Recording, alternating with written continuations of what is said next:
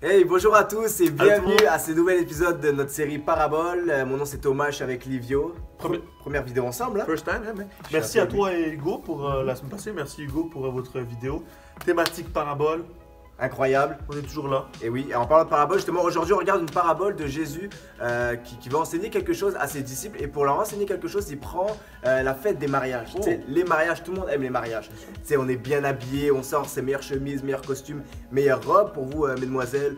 Il y a de la bonne nourriture, il y a de la danse, on aime ça. Mm. En parlant de mariage, toi, tu t'es marié il y a un mois. Je dois dire que tu étais très très beau. Costume beige, classe à l'italienne, incroyable. On a essayé de, de- de faire ce qu'on pouvait. Merci Thomas. Ah. C'était euh, un très beau mariage. Je suis vraiment content. Donc euh, je, comprends le- le- la parabole. Vas-y, euh, continue, enchaîne mon cher. Yes, mais justement, euh, il me semble que les- à l'époque, les, les- les mariages Oui. étaient différents. Ça avait une, une- une importance encore plus grande que celle Bien d'aujourd'hui. sûr, bien sûr. Euh, Aujourd'hui, les mariages, bien sûr, c'est important, c'est une grosse fête. Mais à l'époque, c'était huge. là. Ça pouvait durer plusieurs jours, même des fois des semaines. Mhm. Euh, Il y avait euh, toute la famille qui était invitée, mais des fois, c'était le village au complet qui était invité. C'était, c'était en fait, il y avait toutes les classes sociales. C'est qui est intéressant, c'est qu'il pouvait y avoir des personnes importantes, des personnalités de l'époque, etc. Donc, vraiment, le mariage, c'était un lieu de rassemblement de toutes les classes de la société. Ouais. Puis justement, vu que toutes les classes de la société étaient représentées, tout le monde voulait euh, paraître plus important qu'il l'était Bien en sûr. réalité. Et justement, Jésus, à un moment donné, il dit à ses disciples, lorsque vous allez à un mariage, ne choisissez pas les meilleures places. Parce que, encore aujourd'hui, mais encore plus à l'époque, ta place déterminait ton rôle d'importance et ton statut euh, social euh, euh, dans la société. Donc tout le monde voulait être aux meilleures places pour Bien paraître, pour impressionner le monde. Puis Jésus il leur dit, ne cherchez pas les meilleures places, parce que ce qui risque d'arriver, c'est qu'une personne plus importante que vous va arriver au mariage, puis on va vous dire, eh, t'es bien gentil, mais va, va t'asseoir au fond là. Puis au final, ta soirée va être gâchée, parce que dans toute ta- dans- pendant toute la soirée, tu vas te dire, ok, je me suis fait recaler, c'est- mal passé là, tu sais. Donc Jésus il leur dit, à la place, choisissez une, une- une place un peu plus humble, Mm. et au pire, dans le meilleur des cas, il y a une personne qui va arriver, puis va vous dire, hey, j'ai une meilleure place pour toi. Puis là, là, tu vas step up, puis ta soirée, tu vas, tu vas Ah, enjoy. bien, sûr. Puis, puis ce que Jésus veut enseigner à travers cette, cette, cette parabole-là un peu humoristique, c'est que euh, ne cherche pas à être vu. Tu sais, ça, c'est une, une, une, une réalité qui est super importante dans le royaume de Dieu. C'est ceux qui cherchent à être vus, ceux qui cherchent à être acclamés, à être mis en avant, eux, ils vont être rabaissés. Alors que ceux qui cherchent pas nécessairement la première place à être mis en avant, c'est ceux qui vont, c'est eux qui vont être élevés.